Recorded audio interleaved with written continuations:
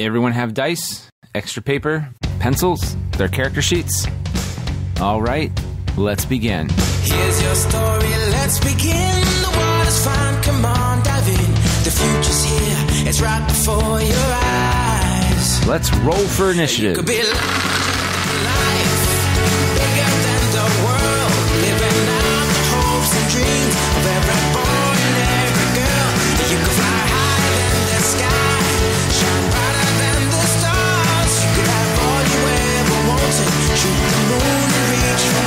You know you could. This season, we're playing Dungeons and Dragons by Wizards of the Coast. Our players this season are Isaiah Shellwitz, Jessica Gibson, Laura Spires, I'm Will Scarborough. I am the DM. and this is Opposing Rolls. You could be larger than life,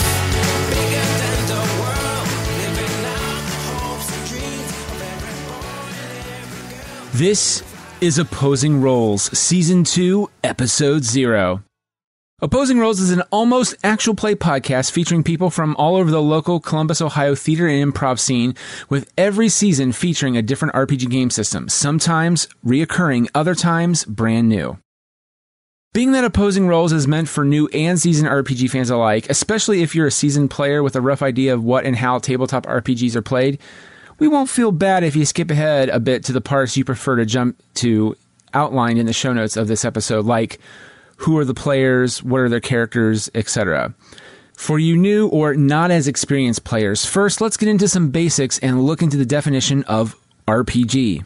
RPG stands for role playing game. In particular, at least as of right now, we are playing tabletop role playing games, or as they're also known, pen and paper role playing games. In role playing games, the player play as characters. Sometimes they're templated characters pre created before the game. Other times, and most of the time, at least with opposing rolls, they are created by the players. The players themselves determine the actions of their characters based upon their characterization, utilizing a set system of rules and guidelines. Within the rules, the players have the freedom to improvise, with their choices shaping the direction and the outcome of the game. The Dungeon Master, aka the DM, is another component who tries to assist the players in telling the story and acts as all non playing characters, also known as NPCs. The DM is also aware of all the obstacles that the players will encounter during their game. Some of them are planned by the DM, others are, well, not planned. But all these obstacles are things that will be done via encounters. Some can be handled with role playing or acting out or improvising. The rest is done by a series of checks and balances located in the rules of the game. Most RPGs, at least the ones we will play here on Opposing Rolls, will feature a wide array of dice to help perform those checks and balances. Usually. What's unique about tabletop RPGs is that players are integral to the game and can change the shape of how the entire game plays. Imagine for me three players, each bouncing ideas and thoughts and playing off of each other. As game master or dungeon master, it is his or her job to act as a referee host and lead storyteller, helping the players along. Meaning, a scenario or adventure could be played multiple times, multiple ways, because how each player approaches the adventure could modify and reshape how the entire game plays out. Also, you could have someone who just always rolls the dice poorly, making it an uphill battle for the player. Pretty cool, huh? Okay, but in the context of this show, what does almost actual play RPG mean? An almost actual play RPG podcast, at least in context of opposing rolls, means we will be recording a game session or actual game session of an RPG and then provide some slight edits here and there, mostly filling in goofs for the game master made and or would like to redo, or perhaps in some cases cut out to better illustrate what's going on. And heck, who knows, maybe add some effects? Let's be honest, we tried that in the Star Wars season and it was kind of hectic and time consuming to do so, so probably not that last part. Pew pew! Each RPG game system runs on a system of rules. Some systems, like Star Wars by West End Games, which we did last season, uses six sided dice. But the biggest ones out there, as example, are D20 systems. That stands for 20 sided dice. Dungeons and Dragons utilizes this as a primary dice roll, but also uses other dice as well. It is also important to throw out there that something you may hear come up in the podcast, and that is terms like adventure, scenario, or campaign. In role playing games, campaigns are long running where player characters play continuously and have some long, overarching roles. Adventures or scenarios are also called one offs or one shots, which leads to a reminder about the format of the podcast. Opposing Rolls will be an audio podcast show that will be run similar to that of a television show, meaning it's done via seasons. To be clear, we aren't doing the Netflix method either. We are doing one episode at a time per release. This is what is also unique about the show Opposing Rolls is that each season could be a completely different game. The RPG games themselves that we will play in the show may vary from season to season, and the RPG games themselves that we play in the show may vary from season to season and could be a different experience not just for those in the show, but for those listening as well. For example, last season featured myself as the game master with Eric Sternberger, Stephen Woosley, and Samantha Stark as the players in Star Wars, the role playing game by West End Games, republished by Fantasy Flight. This season, though, is a completely different game system, like Dungeons and Dragons, with a different game master and a different set of players altogether. Well, for the most part. If you were a fan of Star Wars, don't worry. Eric Woos and Sam, I am confirming right here, will be back in a later season, probably season four. We got a really cool season three coming up for you as well. But being that there is a time lapse, it's very important to stress that if you enjoy what we do here on Opposing Rolls, please subscribe to our show in whatever podcatching app you use, whether it be the podcast app on iOS, aka the Apple operating system, or whatever app you use on your Android. Okay, so we went over the ins and outs of what an RPG is and what an actual play podcast is, or in our case, an almost actual play podcast. Now to tell you more about this season of Opposing Rolls and what game we're playing. We're playing 5th edition Dungeons and Dragons. To get us started, talk about the game some more, and just prepare you for what you're going to hear rule wise, here is the Dungeon Master for this season, William Scarborough. Hi everyone, I'm Will Scarborough. I'm a Columbus area actor, writer, and DM. I've been uh, playing D&D for several years now. Uh, before that, primarily played uh, video games and have drowned in fantasy literature like uh, Tolkien, Peter V. Brett, George R. R. Martin, and the like. So a little bit I can tell you about this podcast, uh, this this campaign, if you will. It's uh, going to be set in an original homebrewed world uh, called Orokos. Without going too much into detail, uh, it's a world built kind of on an inherent underlying chaos. It's it's consistently on the brink of instability, and so it's very uncommon for people to leave their hometowns and cities just for fear of the unknown that lies beyond. Uh, however, our intrepid group of adventurers uh, elect to venture beyond that and find out the world's kind of a train wreck.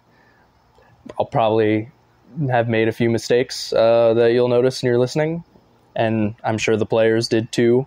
But there's lots of twists and turns, plenty of fun times to to enjoy, uh, and uh, an ending I hope you guys don't necessarily see coming. yeah, that's uh, that's pretty much it. I hope you guys like it. Maybe you'll hear me again after this season. We'll see. Thanks, Will. All right.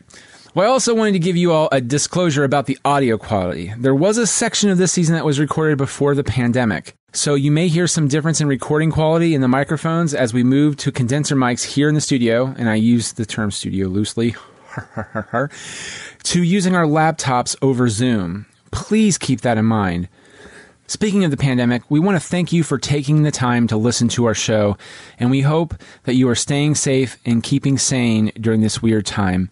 And if for whatever reason you feel sad or depressed, please reach out and talk to somebody and know that you are not alone and that we care about you. And hopefully, our show will bring a little bit of semblance of joy that will help get you through it. And if not, please reach out to someone who can help you.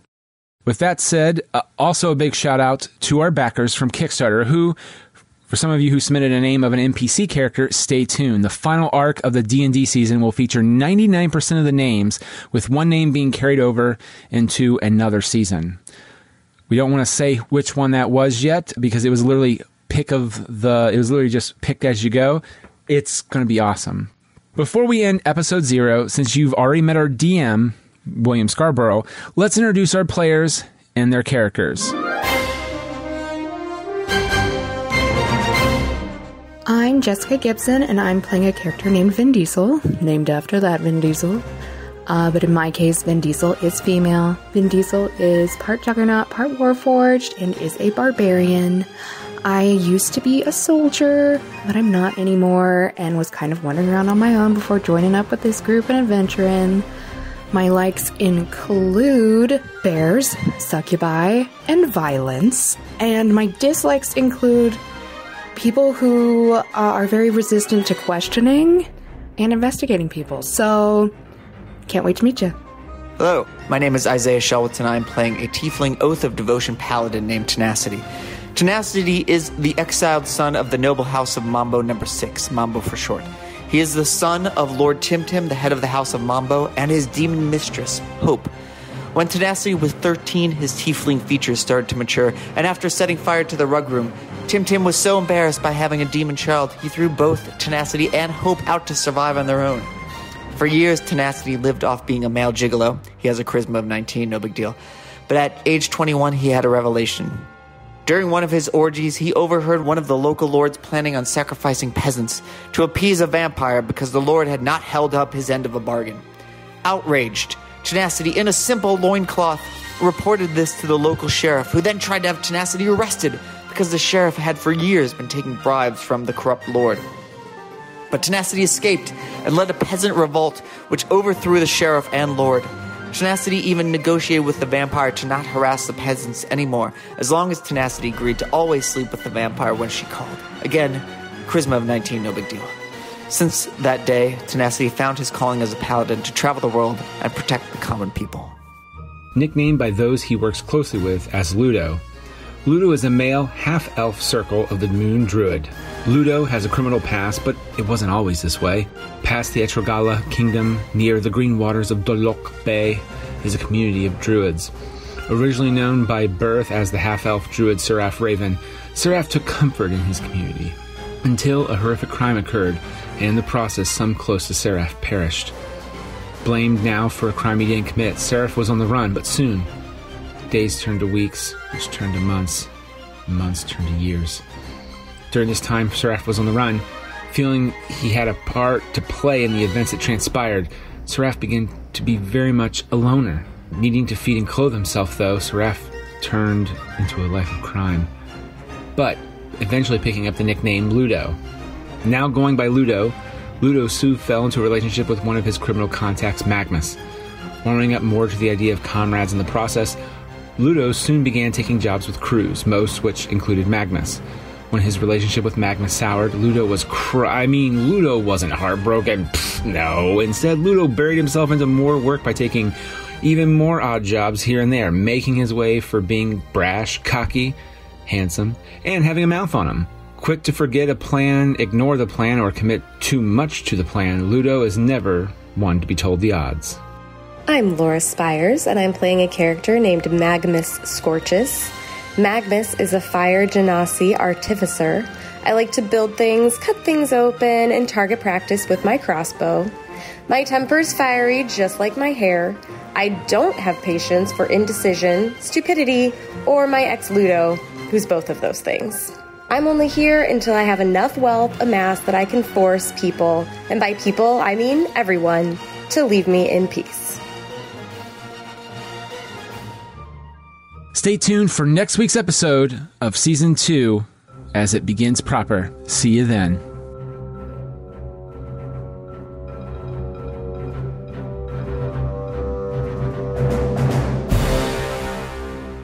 Opposing Rolls is presented by D4K Studios and is produced in conjunction with Nick Arganbright and William Dell, and co-produced by Ashley Carlson and Catherine Renala, with editing this season provided by Kat Warren and William Dell, with additional mixing provided by Orality Sounds. Find out what Orality can do for you. Check out the show notes or head to facebook.com forward slash Orality Sounds. Our game system for this season is Dungeons and Dragons 5th edition by Wizards of the Coast.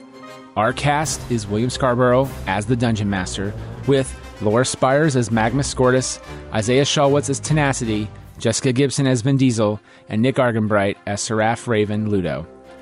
Our second season has also been made possible by our Kickstarter backers, such as Ashley Carson, Catherine Ranella, Woos, Yannick, Doug Poeta, Christopher LeBlanc, Andrew, Kenny, Jerome Wetzel, Casey May, Anonymous, Tavia Ordway, Anthony Portillo, Jen and Brian Petrie, guest 16554255418, Laura Spires, Kimberly Barr, Kyle Jepson. Music for the show provided by Derek Shire and Pink Zebra featuring Benji Jackson. Please support our musicians by checking out the show notes for their respective links. We are, of course, on Twitter and Instagram under the username GoodBadGeeky. Follow that for updates on all the different projects that we are involved in, including opposing rolls. Dungeons and Dragons and all related titles, logos, and characters are trademark property of Wizards of the Coast, and Opposing Rolls does not imply an affiliation, endorsement, or sponsorship by the copyright and trademark holders unless otherwise noted. Opposing Rolls is a production of D4K Studios.